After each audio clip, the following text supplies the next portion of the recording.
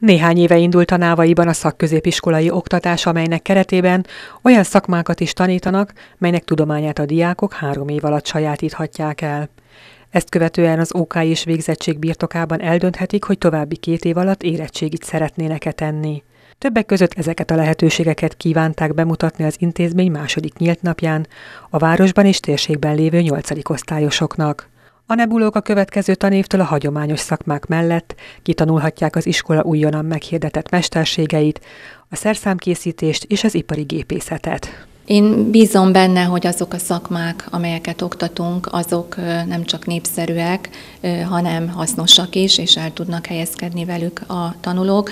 Erről vannak visszajelzéseink a nyomonkövetési rendszeren keresztül, és azért a választott szakmában a legtöbb diákunk nagy százalékban el tud helyezkedni, különösen a hiány szakmákban, így a gépi forgácsoló, hegesztelő szakmákban. A nyílt nap szervezésébe és lebonyolításába az iskola több diákja is besegített.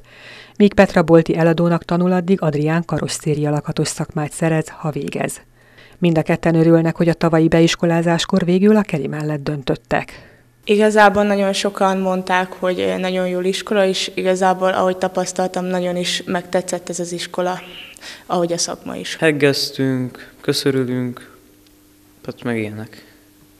Tetszik, közösség is jó. Nagyon jó barátokat szereztem, a tanárok nagyon kedvesek, nagyon szeretem őket, és nagyon jó közösségben vagyok, tehát nagyon szeretem ezt az iskolát. Még a három év után egy autófényezőt szeretnék rakni, ezt a szakmát szeretném csinálni. A návai egyre népszerűbb az általános iskolát elvégzők körében.